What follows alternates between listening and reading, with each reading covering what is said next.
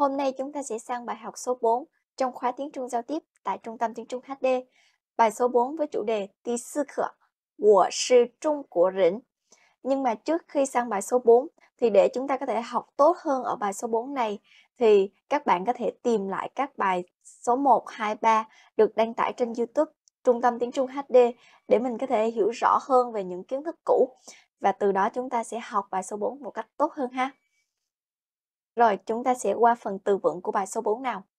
Chữ số 1 mình sẽ có của của chữ này nó có nghĩa là tôi, là tớ, là mình. Nó chỉ ngôi số 1 thì nó giống với chữ ai ở trong tiếng Anh nhỉ? Rồi, chỉ thì chữ của này Hán Việt của nó sẽ là ngã. Ngã ở đây có nghĩa là bản ngã, bản ngã của bản thân mình ha. Bạn sẽ thấy một cái hình con người đang cầm đao đứng lên để bảo vệ bản ngã của bản thân mình. Vậy thì ngày xưa cái tôi của những người học thức, những người mà đọc sách đó, sẽ rất là cao. Đó là họ sẽ phải bảo vệ cái bản ngã của mình.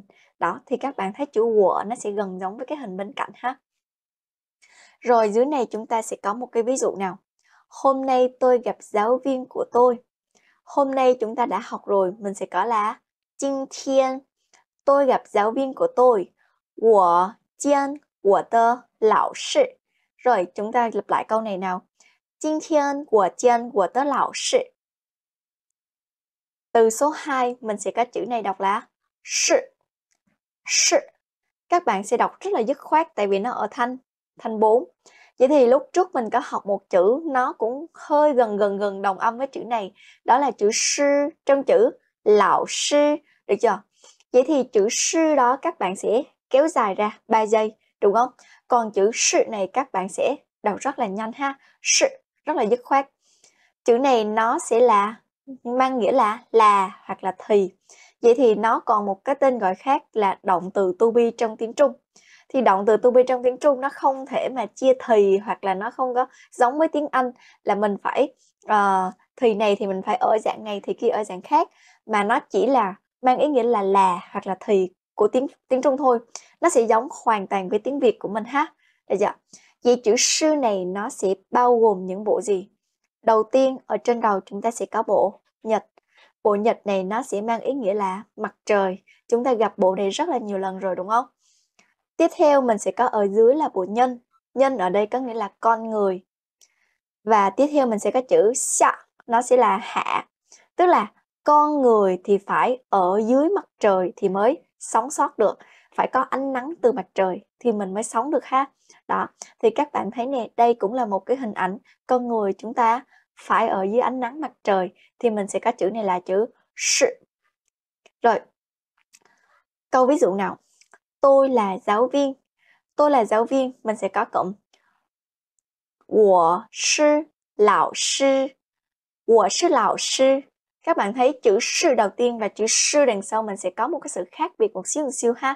Được chưa rồi. Câu số 2 ông ấy là bố tôi. Bố thì mình bữa trước mình có một cụm đó là papa, được không? Vậy thì ông ấy sẽ là tha. Rồi nguyên câu của mình nào? Tha sư của papa. Tha sư của papa.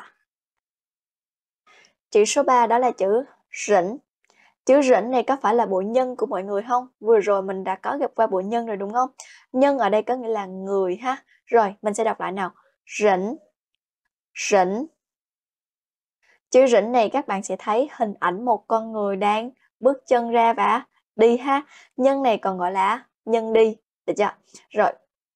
Vậy thì mình sẽ có cụm rỉnh minh là mọi người. Lúc trước mình đã học gì nào?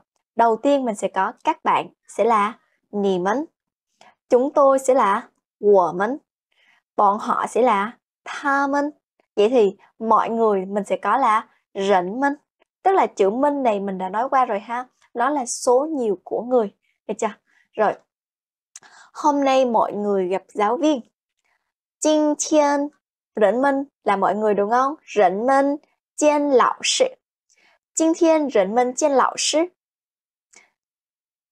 từ số 4 nào xin Xin. Chữ xin này các bạn cũng đọc rất là dứt khoát đúng không? Vậy thì nó cũng gần gần cách đọc với một cái chữ mà mình đã học đó chính là ngôi sao. Các bạn còn nhớ ngôi sao mình sẽ đọc như thế nào không?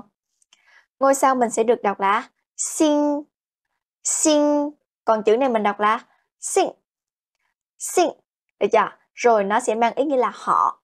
Các bạn thấy nè, tại sao chữ xin này nó sẽ gần gần đồng âm với chữ xin là ngôi sao? Tại vì lúc đó mình có nói Hán Việt của chữ ngôi sao đó chính là chữ tinh. Còn Hán Việt của chữ họ này nó chính là tính, đúng không? Vậy thì tinh và tính nó cũng cái Hán Việt của nó gần gần giống nhau nhỏ. Vậy thì cái phần đọc của nó cũng sẽ gần gần như nhau ha. Mình sẽ có xin là ngôi sao và xin nó sẽ là tính là họ được chưa? Rồi, ngày xưa chúng ta coi những cái phim kiếm hiệp của Trung Quốc, mình sẽ có một cái cụm là gì? Uh, xin hỏi quý tính đại danh, đúng không? Vậy thì tính ở đó chính là là họ ha, được chưa? Rồi, chữ xin này nó sẽ gồm những bộ gì nào? Đầu tiên mình sẽ có bộ này là bộ nữ. Bộ nữ nó sẽ chỉ người phụ nữ, được chưa? Rồi bên cạnh mình sẽ có chữ sinh. Sinh ở đây là sinh sôi nảy nở.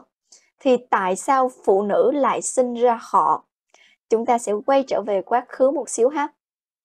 Ngày xưa ở chế độ mẫu hệ thì họ của chúng ta sẽ được theo họ mẹ. Cái thời mà phải hái lượm à, thì người phụ nữ sẽ tạo ra năng suất cao hơn người đàn ông. Nên là lúc đó người phụ nữ sẽ làm chủ gia đình và họ của chúng ta sẽ theo họ mẹ thì gọi là chế độ mẫu hệ. Ngày nay à, tới cái thời mà vũ khí đồ đồng thì đàn ông sẽ là người tạo ra năng suất nhiều hơn tại vì mình sẽ đi săn bắn đúng không? Vậy thì từ đó trở đi thì mình sẽ có một chế độ gọi là chế độ phụ hệ và đến tận ngày hôm nay thì họ của chúng ta vẫn theo họ của ba. Nhưng mà nếu như thời quá khứ thì sẽ là họ của mẹ, đúng không? Thì chỗ này sẽ là gì? Phụ nữ sinh họ. Được chưa? Vậy thì các bạn có thể nhớ lại một xíu cái chữ tinh là ngôi sao của chúng ta. Nó sẽ gồm một cái bộ nhật là mặt trời và chữ sinh có nghĩa là sinh ra. Mặt trời sẽ sinh ngôi sao, phụ nữ sẽ sinh ra họ. Được chưa? Rồi mình sẽ có chữ này là chữ sinh rồi, tôi họ gì đó thì mình sẽ dùng là của xin rồi tới cái họ của mình. Được chưa? Vậy thì tại sao người việt của mình khi mà hỏi tên thì mình chỉ hỏi ở bạn tên gì, chứ ai đâu hỏi bạn họ gì, đúng không? Nó sẽ có hai nguyên nhân. Thứ nhất là cái họ của người việt nam mình đó nó sẽ rất là giống nhau. Tức là họ lê, họ nguyễn thì sẽ rất là nhiều người cùng họ lê, họ nguyễn, đúng không? Nên mình sẽ không gọi họ mà mình sẽ gọi bằng tên nhưng khi các bạn tiếp xúc với người trung quốc các bạn làm ăn với họ các bạn kết bạn với họ thì câu đầu tiên các bạn sẽ hỏi là bạn họ gì? Chứ không được hỏi là bạn tên gì. Tại vì ngày xưa người trung quốc họ có một cái quan niệm đó là tên của các bạn sẽ là tên rất là xấu. Tức là phải đặt con tên rất là xấu thì con mới được nuôi dạy một cách uh, trưởng thành một cách uh, tốt như được. Nên là cái tên nó sẽ là một cái cái mà người ta muốn giấu đi tại vì nó xấu mà, mình phải giấu nó đi, ha. Đó là các bạn thấy nè, các cái ông hoàng đế á, mình chỉ biết tên hiệu của họ, chứ mình đâu có biết được tên thật của họ, đúng không? Đó, thì đó là một cái lý do từ xưa đến nay, và đến bây giờ cũng vậy. Ở Trung Quốc có rất là nhiều họ khác nhau, nên là chúng ta hỏi người ta, chúng ta sẽ hỏi họ của người ta trước. Rồi khi nào mà mình thân, rất là thân rồi, mình mới hỏi tên của người ta sau. Được chưa? Đó, thì bây giờ mình sẽ có cụm tôi, họ gì đó. Ví dụ như mình họ Lê thì mình sẽ có cụm của sinh lý lý ở đây chính là họ Lê ha. Rồi. Chữ số 5 mình sẽ có chữ này, đọc là chào chào rồi chào này nó sẽ mang ý nghĩa là gọi. Vậy thì gọi thì phải có cái gì nào? Đương nhiên là phải có cái cái miệng, đúng không? Và ở bên cạnh các bạn thấy nè, nó sẽ giống như một cái số 4 của mình đúng không? Vậy thì các bạn có thể nhớ nhanh là sao cái miệng của mình phải gọi, mấy lần thì nó mới nghe, rồi bốn lần thì nó mới mới nghe. Tại vì ngày xưa làm sao? Gọi nhau lại phải gọi ý ới ý ới, đúng không? Đó, thì mình sẽ là gì? Bộ khẩu và một cái số nó giống với số 4 ha? Chà. rồi. Vậy thì giáo viên gọi bạn, mình sẽ có cụm gì đây? Lão sư chào nị lão sư chào nị cụm số 2 tôi gọi anh ta tôi là của anh ta là tha đúng không mình ghép lại nào của giao tha của giao tha rồi các bạn thấy nè những cái cụm tiếng tiếng Việt và dịch vào tiếng Trung như thế này á nó sẽ giúp các bạn liên kết với những cái từ cũ mà mình đã học. Vì vậy nên chúng ta muốn học tốt những bài về sau nữa thì các bạn phải xem uh, những cái bài giảng ở phía trước nó phải liền mạch thì chúng ta mới không bị hụt kiến thức ha. Được chưa? Và có một điểm lưu ý nữa đó là ngữ pháp của tiếng Trung nó sẽ gần gần tương tự với tiếng Việt. Có những câu nó sẽ dịch hoàn toàn ngang từ tiếng Việt sang tiếng Trung luôn, đúng không? Giống như những câu đơn giản như thế này nè, thì các bạn sẽ không cần học ngữ pháp quá nhiều ở trong tiếng Trung ha. Dạ. Rồi, tôi gọi là, chữ là của mình lúc nãy mình sẽ có chữ gì nào? Có phải là chữ sự. Bây giờ câu này mình sẽ nói như sao nào? 我叫是 đằng sau nó sẽ là một cái tên của các bạn đúng không? Ví dụ như mình tên Đình đúng không? Thì bây giờ mình sẽ có là gì? Của Châu đúng không? Rồi, thì tên này á, ờ, đa phần là tên tiếng Việt của mình Nó sẽ là một cái tên Hán Việt Thì các bạn có thể dịch tên tiếng Việt sang tiếng Trung hoặc là các bạn có thể tự ý lấy một cái tên tiếng Trung nào đó mình thích cái tên nào thì mình cũng có thể lấy cái tên đó. Cái vấn đề này thì nó sẽ không quá là khắc khe ha. Sau này các bạn đi thi ờ, HSK hay là các bạn apply học bổng của Trung Quốc thì mình có thể tùy ý lấy một cái tên nào đó miễn sao là cái tên đó nó sẽ đi theo mình uh, trong suốt quá trình học hoặc là trong suốt quá trình thi là được ha. Số 6 mình sẽ có chữ này là Trung Quốc. Trung Quốc thì mình sẽ đọc như thế nào nào? Trung của Trung của. Rồi đây là uh, quốc gia mà chúng ta đang học ngôn ngữ của họ đúng không? Vậy thì có bao giờ các bạn tự hỏi tại sao Trung Quốc được lấy tên là Trung Quốc không? Vậy thì bây giờ mình sẽ phân tích từ cái hán tự à, cái hán việt của nó xem như thế nào ha. Trung ở đây có nghĩa là trung tâm. Quốc ở đây có nghĩa là quốc gia là đất nước vậy thì người trung quốc họ nghĩ làm sao? Họ là quốc gia trung tâm, nên họ lấy tên là trung quốc. Thì mình sẽ có cụm trung của được chưa? Vậy thì như mình vừa nói, trung ở đây có nghĩa là ở giữa, là trung tâm. Các bạn có thể nhìn một cái hình. Lúc trước, nó là một cái hình tròn và một cái cây nó sẽ đi ngang qua trung tâm của hình tròn. Hình tròn có trung tâm, đúng không? Được chưa? Và chữ này sẽ được lấy để ký hiệu là ở giữa, trung. Được chưa? Nhưng sau này tiếng Hán nó sẽ không còn hình tròn nữa, mà nó sẽ có hình chữ nhật, nên người ta sẽ thay là một cái cây nó đi giữa qua hình chữ nhật. Như vậy thì mình sẽ có chữ này là chữ trung được chưa rồi, chữ của của chúng ta nào? Của này là quốc là quốc gia, là đất nước, đúng không? Vậy thì chữ của nó sẽ gồm, ở bên ngoài mình sẽ có bộ vi. Vi ở đây có nghĩa là bao quanh. Quốc gia của chúng ta có cái gì bao quanh? Nó chính là đường biên giới ha đường biên giới. Ở bên trong quốc gia thì phải có ông vua, nên chúng ta có bộ vương. Bộ vương có nghĩa là vua là hoàng đế ha. Rồi, có đường biên giới, có ông vua thôi chưa đủ. Ông vua đó phải cầm quyền, thì thể hiện quyền lực của ông vua thì mình sẽ có chữ ngọc. Chữ ngọc này nó sẽ đại diện cho ngọc tỷ của ông vua ha, là các cái con ấn bây giờ mà các uh, chủ tịch nước của chúng ta đang dùng ha? Được chưa? Rồi vậy thì chữ của sẽ gồm bộ vi đường biên giới bao quanh. Trong quốc gia phải có ông vua và ông vua đó phải cầm được ngọc tỷ. Được chưa? Rồi bên cạnh nó sẽ có một cái hình ông vua ở trong cái cung điện của ông ha? Rồi câu này nào? Người Trung Quốc người ở đây là rỉnh Trung Quốc là trung của. Nhưng các bạn thấy nè người Trung Quốc nó là một danh từ ghép. Vậy thì danh từ ghép nó phải ngược với tiếng Việt, ha? Thì mình sẽ có là trung của rỉnh. Trung của rỉnh. Tiếp theo, tôi không phải là người Trung Quốc. Không phải thì các bạn sẽ có một cụm đó là vũ sự chữ sư của các bạn lúc nãy là là là phải, đúng không? Vậy thì bây giờ không phải thì mình thêm chữ bù ở đằng trước. Mình sẽ có là bù sự rồi câu này của chúng ta nào 我不是中国人我不是中国人 rồi câu này khi mà các bạn nói tiếng Trung và các bạn đến Trung Quốc thì tại vì cái hình dáng bên ngoài của mình á mình cũng là da vàng đúng không tóc đen mắt hai mí thì người Trung Quốc cũng đa phần là như vậy nên khi các bạn đến Trung Quốc thì họ sẽ lầm tưởng bạn là người Trung Quốc và ờ, hơn hết là bạn còn có thể nói được tiếng Trung nữa nên lúc này mình có thể dùng câu này để nói ha 我不是中国人 được chưa rồi giáo viên của tôi là người Trung Quốc giáo viên của tôi mình sẽ có cụm 我老师rồi là người Trung Quốc nào? Sự Trung Quốc rỉnh. Rồi câu của mình nào? Của lão sư sư Trung Quốc rỉnh. Của lão sư sư Trung Quốc rỉnh. Câu số 7. Mình sẽ có chữ này là chữ tha. Tha. ha này có nghĩa là anh ấy. Nó sẽ là một ngôi số 3. Được chưa? Vậy thì các bạn có thể đoán được bọn họ mình sẽ có chữ gì không? Rồi chúng ta sẽ có chữ tha minh. Tha minh. Được chưa? Rồi, tha là anh ấy thì mình sẽ gồm những bộ gì nào? Đầu tiên chúng ta sẽ có bộ nhân là người. Nhân này nó là nhân gì? Nhân đứng, đúng không? Lúc nãy mình sẽ có nhân đi tức là con người đang dang hai cái chân ra. Được chưa? Bây giờ nhân đứng sẽ là gì? À, con người giống như con người đang đứng khép lại thôi ha. Được chưa? Phía dưới mình sẽ có chữ giả. Giả này nó sẽ mang ý nghĩa là gì? Vùng quê, đúng không?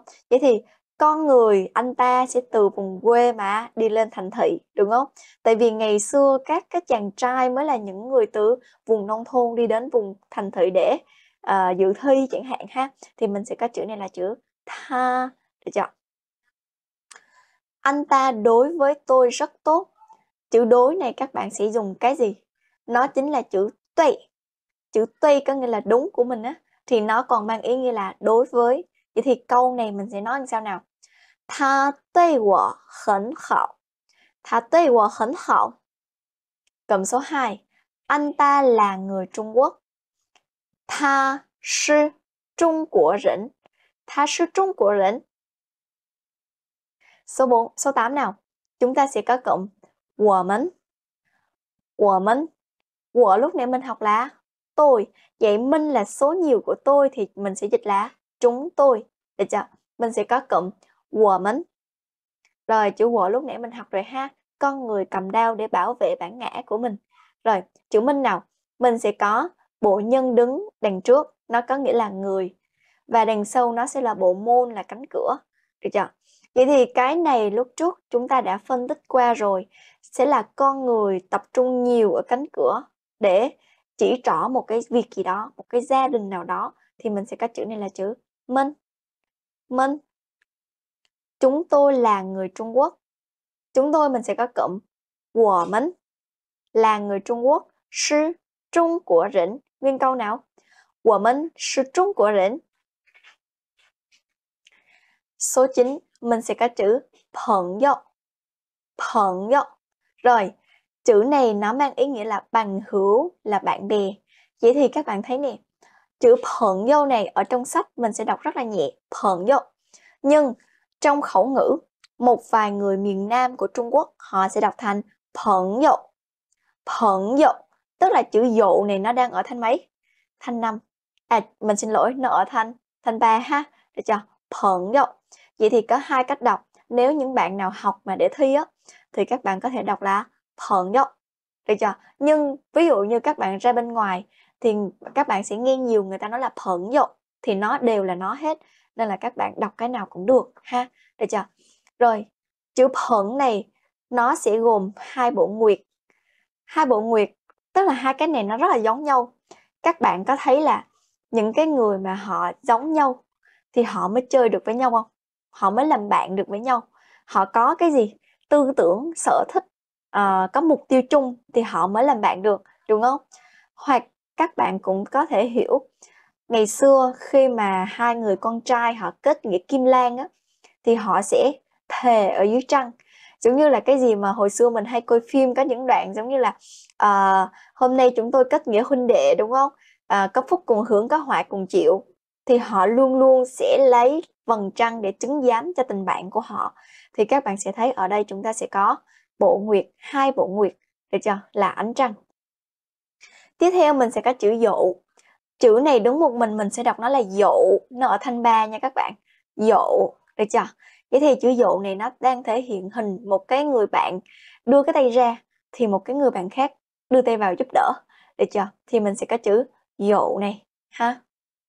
chúng tôi là bạn bè thì mình sẽ có cụm 我们是朋友我们是朋友 bạn tốt mình đã có học chữ tốt là gì nào có phải là chữ hậu đúng không chữ hậu thì mình sẽ nhắc lại một xíu nó sẽ gồm bộ nữ và bộ tử đúng không vậy thì bạn tốt mình sẽ có cụm hậu phận dụ hào phận dụ.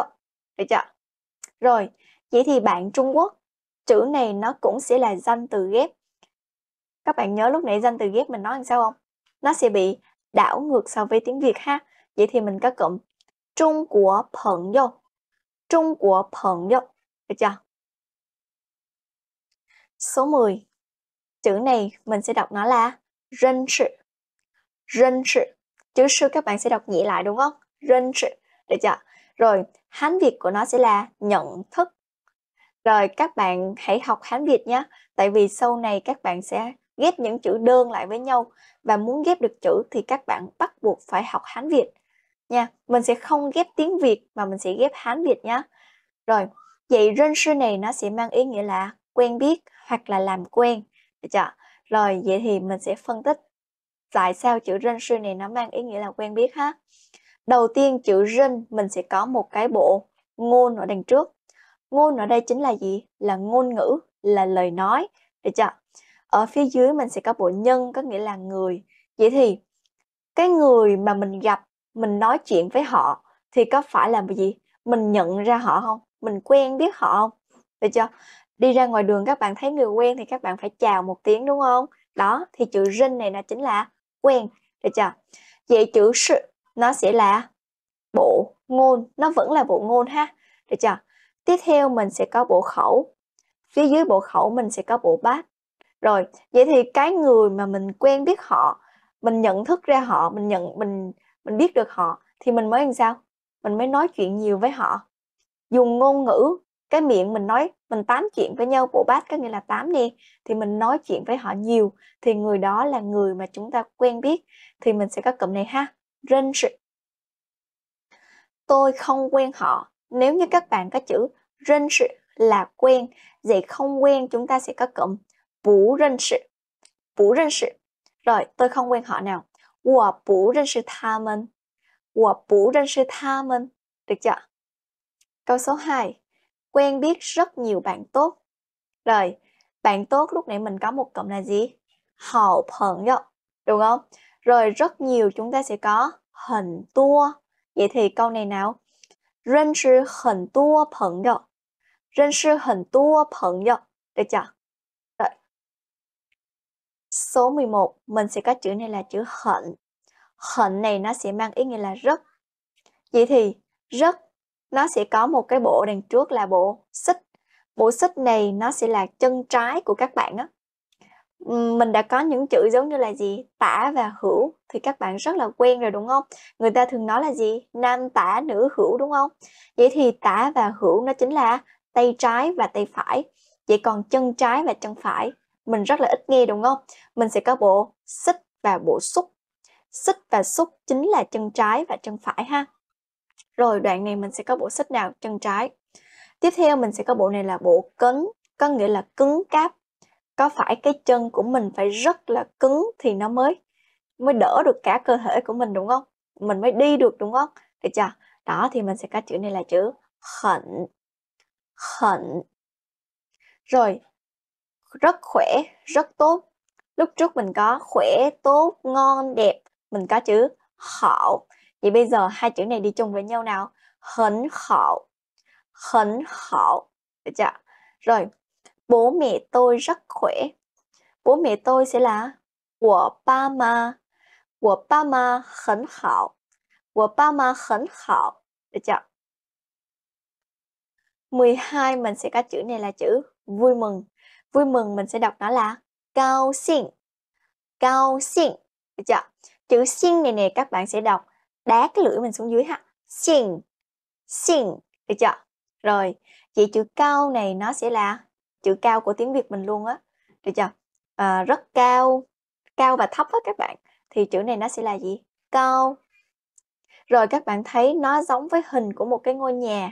Nó chồng từng lớp, từng lớp, từng lớp lên và nó rất là cao. Được chưa? Rồi chữ sinh nào? Chữ sinh này nó sẽ mang ý nghĩa là hưng. Vậy thì nó chính là hưng của tiếng Việt của mình luôn ha. Hưng có nghĩa là phát triển đó các bạn. Vậy thì cao sinh nó sẽ là cao hưng. Nhưng mà tiếng Việt mình có những cụm gì? Cao hứng, đúng không? Nó cao hứng lên nó đi thôi. Kiểu vậy. Thì cao hứng này nó chính là vui ha. Được chưa? Rồi. Tôi rất vui. 我很高兴我很高兴được chưa quen biết bạn tôi rất vui quen biết là mình sẽ có cụm认识 đúng không rồi 认识你我很高兴认识你我很高兴 đây là một câu cửa miệng khi mà mình học tiếng Trung đúng không? Mình gặp bất kỳ một người Trung Quốc nào đó mình sẽ nói câu này Ní hào, rân sư nị, của khẩn cao xỉn Được chưa? Gặp giáo viên bạn vui không? Chữ vui không này á, mình sẽ có cụm là gì? Cao xin mà Chữ ma của mình có nghĩa là không ha Được chưa?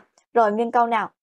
Chiên lão sư, nị cao xin mà Chiên lão sư, nị cao xin mà Rồi cụm này thì đương nhiên lúc nào mình sẽ, cũng sẽ trả lời là gì? khẩn cao xin đúng không?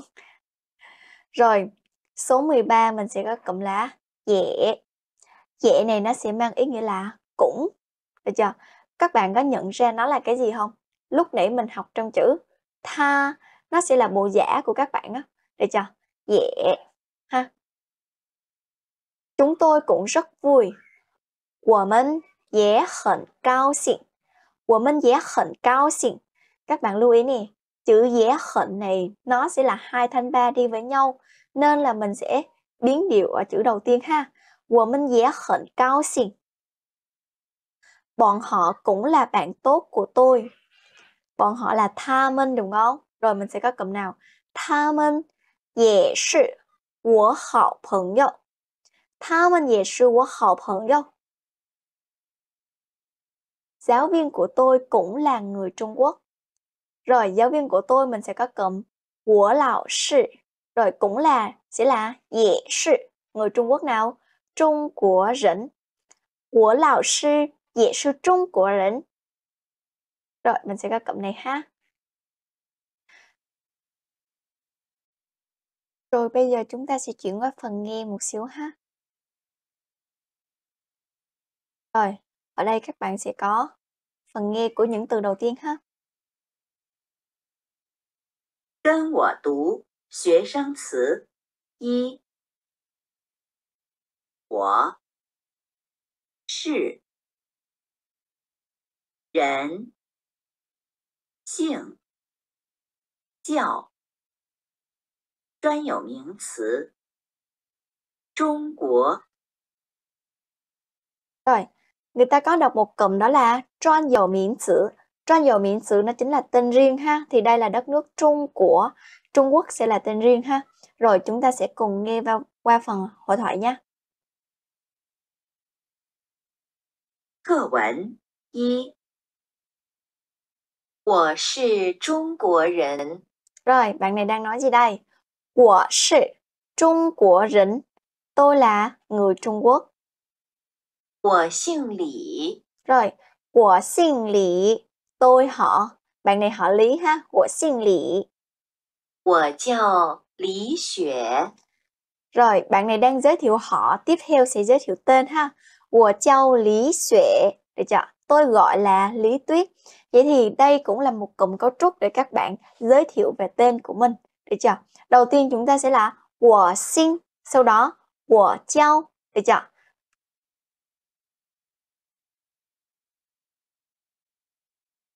跟我读学生词二，他，我们，朋友，专有名词，英国， Rồi, ở phần tên riêng chúng ta có một tên đó là Yên của. Yên của này nó sẽ là nước Anh ha. Rồi, 课文二，他是英国人。 rồi. Câu này nó sẽ là một câu tương tự với câu 我是中国人, đúng không? Người ta sẽ nói là gì? Ta là Yên của rỉnh. Anh ta là người nước Anh ha. 他叫马丁， Rồi, đây cũng là một cấu trúc giới thiệu tên ha. Ta chào Mã Tiên. 我们是朋友。 Rồi, 我们是朋友. Chúng tôi là bạn tốt, bạn bè của nhau ha.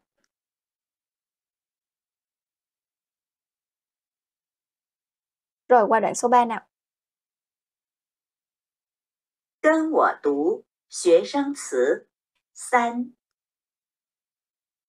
认识，很高兴， 也专有名词，韩国 Tiếp theo sẽ là một quốc gia đó là Hàn của. Hàn của ở đây là tiếng Hàn ha, nước Hàn. 课文三。我姓朴， Rồi, bạn này đang giới thiệu họ của bạn ấy ha. Của xin thiếu. 我叫朴大中， Rồi, tiếp tục sẽ là phần giới thiệu tên. Sau này chúng ta có thể áp dụng ngữ pháp này để chúng ta giới thiệu họ và tên của mình ha. 我是韩国人， Của sư Hàn của rỉnh. Tôi là người Hàn Quốc. 我是中国人， Rồi, câu này lúc nãy mình đã nghe rồi ha. Tôi là người Trung Quốc. 我叫李雪， Rồi, bạn này lúc nãy bạn đã có giới thiệu về bạn rồi nè. Tôi tên là Lý Tuyết ha. 认识你很高兴。 Rồi, nguyên câu của nó nào.认识你, quen biết bạn,很高兴, rất là vui. Vậy thì nguyên câu này mình sẽ dịch như thế nào? Quen biết bạn tôi rất là vui ha. 我也很高兴。我也很高兴. Các bạn thấy nè, nó sẽ uh, nhấn giọng ở của dễ thì một là các bạn có thể dùng là gì? Của dễ hẳn cao xin hai là các bạn có thể đọc của dễ hẳn cao xin đều được. Cách nhấn giọng nào thì cũng sẽ đúng hết ha. Được chưa?